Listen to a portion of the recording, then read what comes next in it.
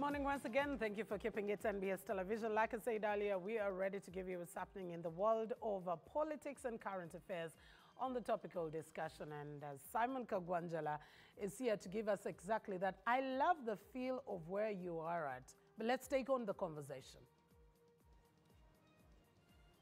Certainly, Mildred, you'd be envious when you see two pilgrims, pilgrims seated here. Uh, but it's a totally different experience for us. We've not trekked, and uh, for that, I think we are guilty. But nevertheless, around this time, there is always a conversation around the inconvenience that comes with um, hordes and hordes of pilgrims who turn up here every year but, well, there is a better side to it. Ironically, as I drove to Namugongo this morning, the road was clear. And that gave me this feeling that probably the martyrs are interceding for us ahead of 3rd June. That aside, the big conversation that we want to hold this morning is about uh, the untapped opportunities that come with this very historic moment um, as Uganda, as Christians celebrate uh, the martyrs, the Uganda martyrs, uh, who have put Uganda on the global, on the global uh, spotlight. Well, in terms of tourism and in terms of boosting the economy, where should the conversation be?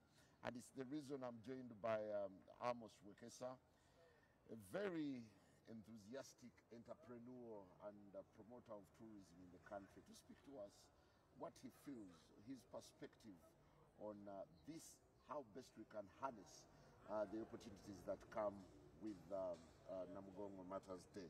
Well, Amos, good to have you and a very good, good morning. Good to have you. Do you know it's the first time we're really interacting?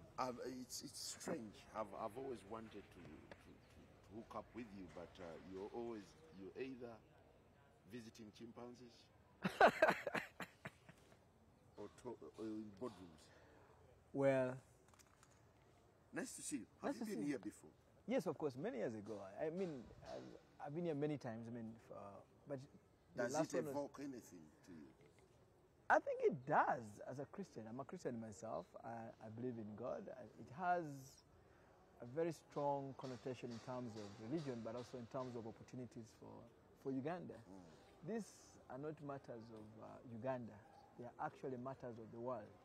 That's why when you go to Nigeria, you find more Kizitos in Nigeria than Uganda. If you go to Brazil, you have more Kizitos than Kizitos in Uganda. Why? It's because they are martyrs of the world. Those Kizitos are named after the martyrs uh, of Uganda. So it is something that uh, has a very strong um, position in, it should have a strong position in our society as a people. It's unfortunate that we probably don't have a focus. are we looking at Namugongo as a brand in itself? Uh, it's meant to be, but a brand must be sharpened. A brand must consistently be pushed in the eyes and the faces of the world. Uh, but as a country, we are so gifted that these things don't make any sense. I, we, we are naturally gifted, and now that we don't take this seriously because to, religious tourism is, is part of a bigger picture called MICE meetings, incentives, conferences, and events. In 2024, MICE is going to earn the world $906 billion. Nine hundred. $106 billion. So when you see places like Taj Mahal, Taj Mahal is a religious place similar to ours. Probably ours could actually stand out probably more than Taj Mahal would because there are about 2 billion people that profess uh, Islam. Christianity. Christianity. Yes, uh, about just over 2 billion people profess uh, Christianity. And that's a big number that if this was positioned to them, we would be having lots of people coming in from Israel, from Nigeria. These are big economies. Because when you want to grow as an economy, you have to use the opportunity God has given you. It should be nature, it can be religious tourism, like we're saying today. But people are not going to dream and just come. You have to showcase the product to them for them to come. Why is it that we only have this pilgrim happening Once a year. once a year? Third June to Third be June. And then two, it is domestic tourism. People coming from Gulu. Uh, And normally the hype comes around two weeks in the run up to the big day. Pilgrims walking, Yes. and then a few from Nigeria and other countries. Absolutely. Mm. But there's no intense drive. So domestic tourism, a domestic tour is a person leaves place A, goes to place B within the country, same country, spends over 24 hours, but less than a year, but should not have a permanent job in place B. So when these guys come like this, the money they spend along the route, eating kabalagala, spending on airtime, uh, buying fuel, whatever it is, that money is actually attributed to what they call the domestic tourism earnings. When they come here, uh, I was told you should interview a guy. I need to find his name. For him, he looks after pigs once a year, and he makes enough money in Amgongo here. Enough money, once a year. He's, this time from today, he's now selling pork until uh, maybe 4th or 5th of June. Now imagine if the same number of 1 million pilgrims came here every month. Look at how much feeds he gets, the transporters involved, the, the business people involved in the buying of his, his, his pigs. Uh, and look at the economy speaking- around it. Practically speaking, is it possible to get this place busy all year round? A hundred percent. it was just designed for this historic moment that comes once on the 3rd of June? But I think that's why we need to change our education. We need to change our, we need to teach our children how positioning of a product means. The reason why it is 3rd June only is because there's no one out there who is consistently pushing the message out there. Why is Taj Mahal having business throughout the year? It's because someone has sat there, created a strategy, and consistently pushed this strategy in the eyes of the business of the, of the, of the, of the business, uh, the, the potential business.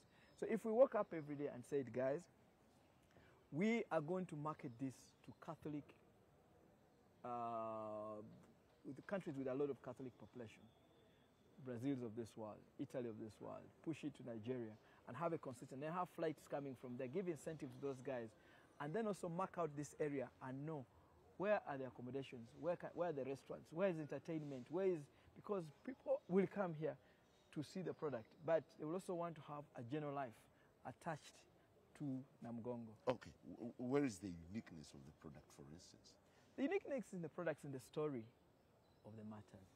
This is a very captivating story, and that's why they're not martyrs of Africa, they're not martyrs of Uganda, but they're martyrs of the world. That's why I'm trying to tell you. That's why people call themselves Kizitos. They're not calling themselves Kizitos in Nigeria or, or Argentina or Brazil uh, because there was a Kizito there. No, they're calling themselves Kizitos because one Kizito was murdered, uh, was killed because of the faith he had. Now, imagine you tap into those sentiments. And the idea is when those people come, it is how much they spend into the economy. Mr. Njala, I think as a country we need to think, and those who are watching uh, need to think, that if Uganda was a business, it would be a very collapsed business. And let me tell you why. 2024, 2025, uh, our budget is going to be 72 trillion. True. Our debt repayment is going to jump to 34 trillion. Our collection is estimated for 2024 2025 at 31 trillion. But this year, 2023 2024, they collected 26 tri- 25 trillion. Which means that if we collect 26 trillion next year, the, the, the amount of interest we're supposed to pay on debt is higher than the amount of money collected by Uganda Revenue Authority from us. What this simply means is that as a people, we must wake up and look at what strengths we have and go out there, outside our borders, and market and position the country. When you, when you position the country for tourism, people don't understand that you're actually positioning it, positioning it for agriculture. Mm. You're positioning it for manufacturers. You're positioning it for everything else. Because when 3 million tourists arrive coming for Tunamugongo here and spend eight days in the country, they'll be eating two eggs a day. Two eggs a day times eight days is 16 eggs. Times 3 million tourists, that's a 48 million eggs. Do it for pineapples, do it for onions, do it for coffee. Each tourist will take maybe two cups of coffee every day. Those are 16 million cups, 16, uh, 16 cups of, uh, of coffee in eight days. Those are 48 million cups of coffee. One kilo of coffee gives you between 120 cups to 140 cups. Ordinarily, someone out there would be saying, Now Amos is saying to Saba government to Yambe yet he has a brain, he's into the industry. Why aren't private operators now tapping into this? Well, I think it's very what the role of government in economic growth is to create what they call an enabling environment. An enabling environment is what you see Rwanda doing, where the government goes and has its Rwanda, this Rwanda on Arsenal, on uh, PSG. There's no private sector. I, I have the will, but I can never in my life afford to pay for those kind of spaces. I can't.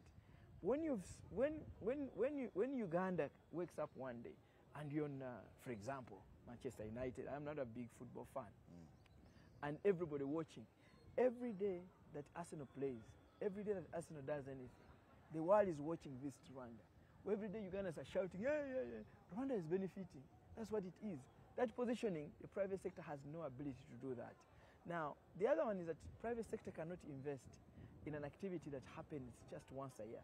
There are people, like I've just said, and given an example of the man who um, looks after pigs and only makes money once a year between uh, 1st of, uh, between 28th of June and 4th of, uh, of, of, of, June. Now, that you can private, but you cannot grow a business or depend uh, or, or, or, or create a business around a three-day activity or four-day activity in a year. We're supposed to market this place that one million people come here every single month. Yeah, but That way businesses will then be consistent. with the secularism that is now setting into the world, do you think religious tourism can thrive in Uganda, in a country like Uganda? Well, I think religi- uh, secularism is mainly uh, growing in the Western world. And don't forget that the Western world, the populations are growing uh, less. You know, I- I can tell you, for example, in Germany, 10,000 businesses are closing every single year because there are no people to take the business on. But for Africa, the population is growing. Uganda's population is, is growing by between 1.3 to 1.5 million people every single year. So are other African countries. And these people are coming from religious uh, environments. Right. Uh, and there, I don't believe that religion will go away. It will still remain because that faith, people need faith to be able to, to survive. When you come in here and then start talking religious tourism, you seem to be bringing a very alien concept in the books of the country. We already have several other opportunities. Um, we have chimpanzees, we have um, very interesting things. Don't you think? Do you think rather the concentration could be the other side, or tourism is just some unforgotten area? Jan, I like you, but man, you, if I had a stick, man, I would have given you a cane this morning because you see, this is a poor country. Mm. What we're saying is that God has endowed us. God expects us to use our brains. That's why He gives us brains. That's why He gives us hands. That's why He gives us eyes. Such that when He gives you an opportunity of the martyr story, you are not supposed to be a country just of borrowing. You should be a country that uses the opportunity to actually be the, uh, the donors. But because of our mindset, we don't understand it's not bad to do business. Actually, countries that don't do business become like us. Those countries, uh, if, if you, like I've said, if Uganda was a business, it would have collapsed based on the debt, based on uh, inability to, to export, based on inability to look after our children, inability to, even our leaders, you can see, they don't get treated in Uganda because if we, if we utilize just Namgongo alone and marketed it and it brought in, say, 1 million tourists every single year, each spending $1,000, that's over 12 million tourists uh, a year. It would be billions of dollars. We would have hospitals, we would have schools, we would have, uh, um, you know, we'd all be having happy lives. But we're not because of that kind of mindset, boss.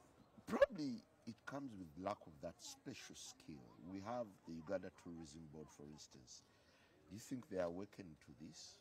Or Well, I think, I think Uganda Tourism Board is like any other government agencies. Government agencies can only work if there is pressure. I always tell people why, for example, is Rwanda marketing machine working? It's because every 21 days they are, re- they are required by the president to report where Rwanda has appeared positively, what Rwanda has gotten. The statistics are followed. You know, I like talking figures because if you don't talk figures in life and just talk generally, you're, you're wasting time. Figures matter. So, ours, if you see our organizations, there is no target. There's no one putting them under pressure to perform. Eh? But also at the same time, there's not enough support. I can tell you the budgets this year. The money located toward tourism marketing of the country is about 3.5 billion shillings. That is less than $1 million. Now, MTN uses over $10 million to tell us that they exist in Uganda. MTN is a, is a smaller, is smaller compared to the picture called Uganda. So if MTN uses $10 million to tell us they exist, how much more does the country Uganda need to use in order to tell the world to come here and spend on our, uh, on our businesses? We need to be spending more money. Is this a conversation that would prompt a serious strategic war room thinking, or there is already what to do, but we're just not doing what, what we're supposed to do? I think, I think what Ugandans must understand is that in whichever position you're in, whether, even me as Amos, the reason why I'm pushing for national marketing is because when that tourist comes here, when that guy leaves Gulu and comes here, you can see the people in Namugongo are very active. The food, the, the activities they're doing, the economic activities around Namugongo are the highest now in the country. You know, and the next three days, no one, no one, no money exchanges is probably going to beat the money exchanges in, within Namugongo. And so we have to make the bigger picture. So when Uganda is positioned well, it is not just positioned for the government. It's positioned for me who sells eggs. It's positioned for me who sells onions. It's Positioned for me who has a, a, a mall that, I'm, that, that, you know, it's positioned for me who has a restaurant. That's what positioning a country actually means. But this debate, positioning a country, you cannot position it using emotions. You have to put in a strategy, and then you have to get the right people in the right place. Then you have to make sure these three people in the right place are consistently marketing. You have to put them under pressure. If they don't perform, sack them. That's what it's all about. If you don't do that in other countries, you have a problem. Let me tell you, South Africa hmm. is more popular than Uganda, isn't it? It is. But South Africa spends $10 million to tell Africans about South Africa every single year. They spend $70 million to tell non Africans about South Africa every single year. That's $80 million invested every single year. Why? It's because they understand commerce. That's the reason Johannesburg gets 22 million arrivals and Entebbe has less than 2 million arrivals in a year. That's, that's, a, that's a difference. Those 2 million arrivals are 2 million opportunities.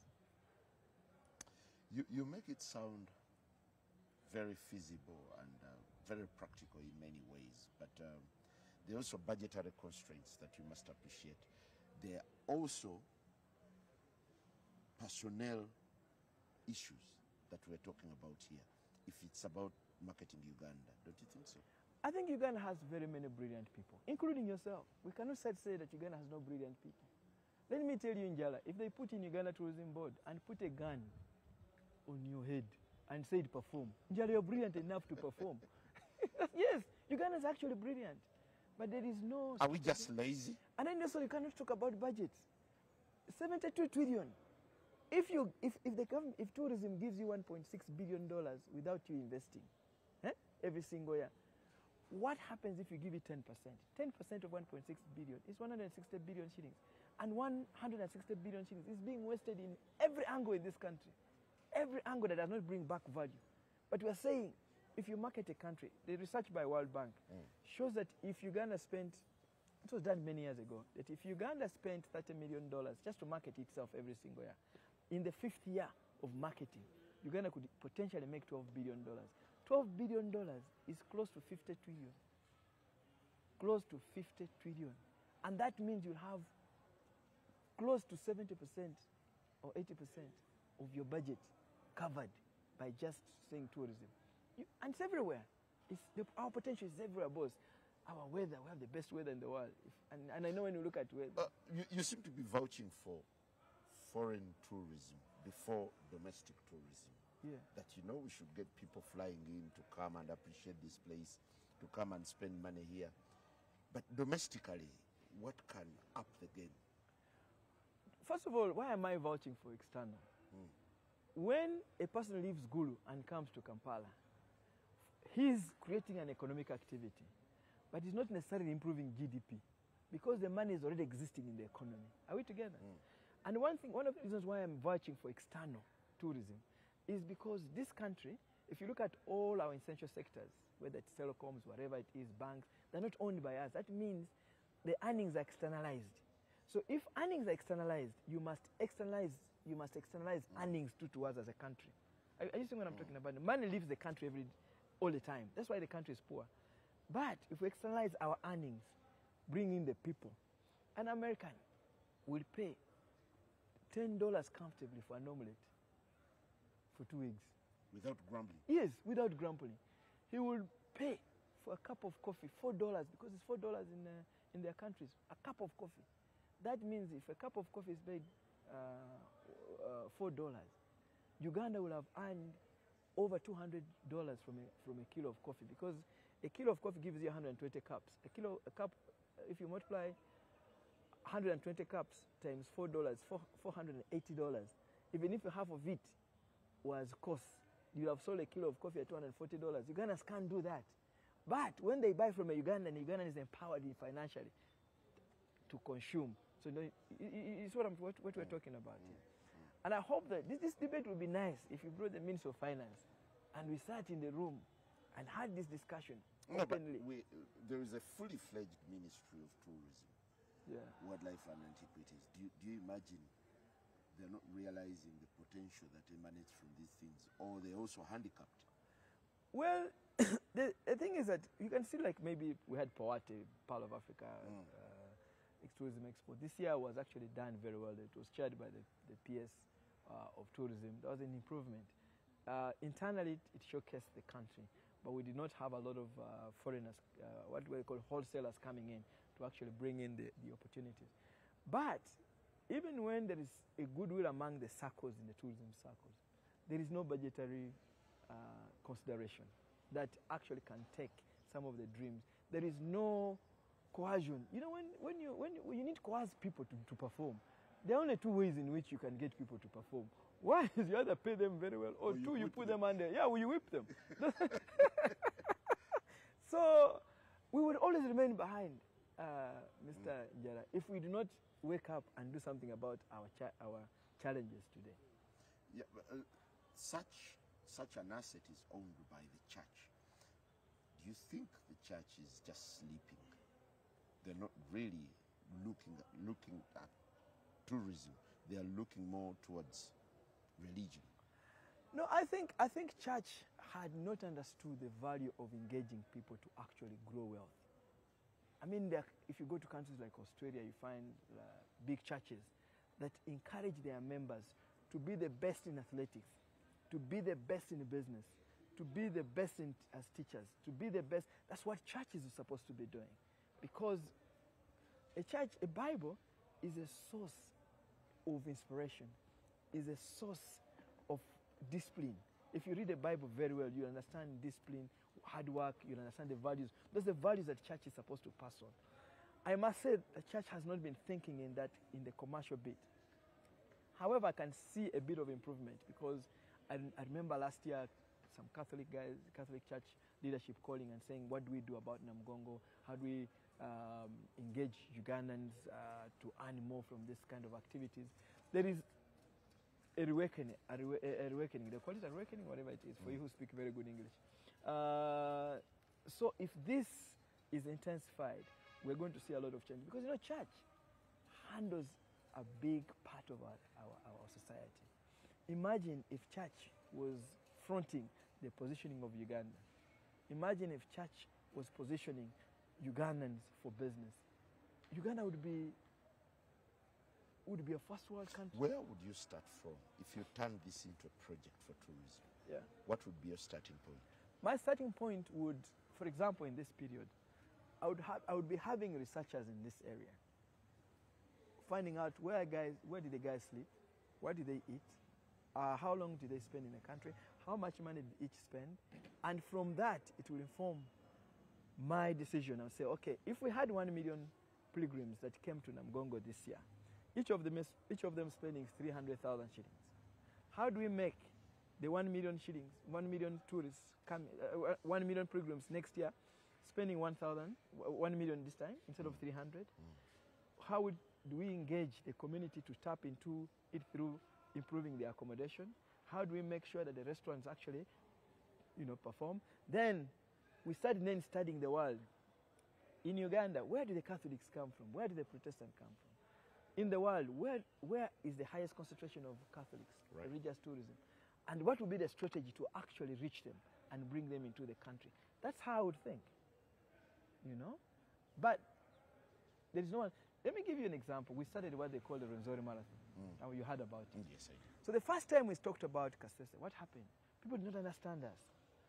The first 2022 when we took 800 runners, Kasese ran out of food. It ran out of, uh, the supermarkets ran out of chicken. They had to go to Fort Portal to bring food. Accommodation ran out of place. Everything ran out in Kasese. Then Kasese was awakened. The people who were selling chicken were happy. Now, Kasese is preparing for the next run. But we took a group of researchers from Makerere University, us as, in, as Rwenzori Marathon. Mm. We, did, we first of all found out what was the quality of the runners. Where did they come from? How much did they spend? So we had all that details. Now it has informed the the detail. To- the detail. Mm. We had it. You see the head of tourism Makerere mm. is one who did that research and did a presentation. Now we know where we're going. There were only 2,200 runners last year. It's the second year. Mm. But there were about 100,000 people that came to watch the 200. We look at how much people, how much money was spent in the economy. Kasese is changing completely. That kind of thinking should also be brought at the national level. Is it a country that lacks thought processes or we think and never execute? Njala, we have three opportunities as a country. Well, there are three things that, that work against us. One is that we have food, a lot of food. So you can actually wake up in the mo- from morning, you talk, talk, talk, abuse everybody on Twitter, do whatever, but you will eat. Number two, we have good weather. And that's a disadvantage. Yes, a disadvantage. If we had these countries like Europe, these European countries or US, the only their souls can only work for six uh, six months in a year. For six months they have nothing. You have to plan in advance for those bad times. For us, you can't. You just wake up, you wash the same shirt. You don't need clothes for summer. You don't need clothes for winter. You don't need. It's what I'm talking about. It's not. A, it's. It, it looks like an advantage, but it's a disadvantage. If we had those harsh conditions, we would be. If you're going to sleep hungry in Jala, your family is going to sleep hungry. You think better. You act better. Then the third thing is that we're ignorant of what's happening around us. When you go to just Kenya here, Tanzania, Rwanda, and see what is happening, you get angry about what's happening here. You get angry because we have much more potential here. This is what I'm talking about. Because this is a country where you can never, there's nowhere in the world that you can eat a pineapple as sweet as Uganda's pineapple. There's nowhere in the world that you'll find the source As an expert in tourism, um, we I can't call myself an expert. You are an expert. At least you, you've been in this for a while and uh, you have your name in there. Um, where would Uganda go to benchmark on faith tourism? I think faith tourism, I would go to India. I would go, for example, just study Taj Mahal. How can Taj Mahal be bringing a value of about eight, $4 billion to the economy every single year? And I would say Namgongo should also give us $4 billion in a year With a target. with a target. But if I'm going to earn three, $4 billion, I cannot use emotions to earn $4 billion. No. I will, ha- I will have to Uganda's have the, being emotional. man. Yes.